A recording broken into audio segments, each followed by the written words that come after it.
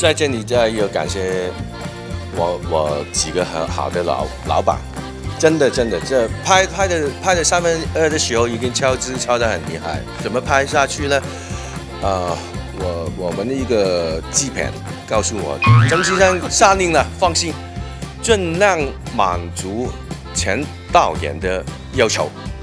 接着，关东华实在戏哦，尽量满足前导演的要求啊。曾导演已经下命令了哈，各个单位看着办哈。导演要什么就给什么。啊，谢谢关姐。哎，没不用谢，我也是咬着牙。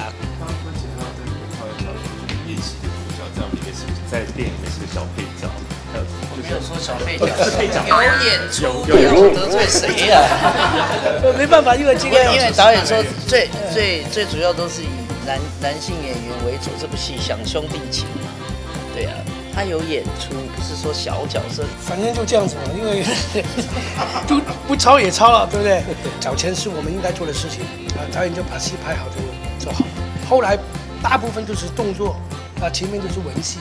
动作呢，就是导演的拿手好戏，所以所有的飞车啊、动作啊，都是后后后面做的，而且这个是超支最严重的。然后我们跑的地方又多。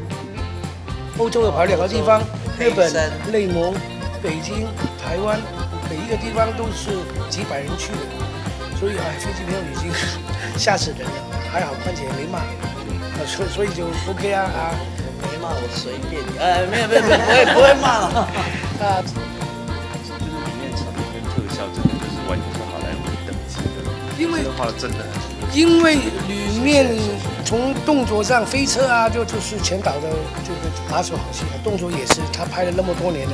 那特效呢，从韩国啊、美国啊、呃北京啊，全部都有不同的国家，因为太多特效镜头要分批做，一个公司根本包不下来。连我今天我自己都觉得哇，现在拍戏可以拍到这个样子，里面很多东西就是从有变没有，没有变有，这现在拍戏实在太神奇了。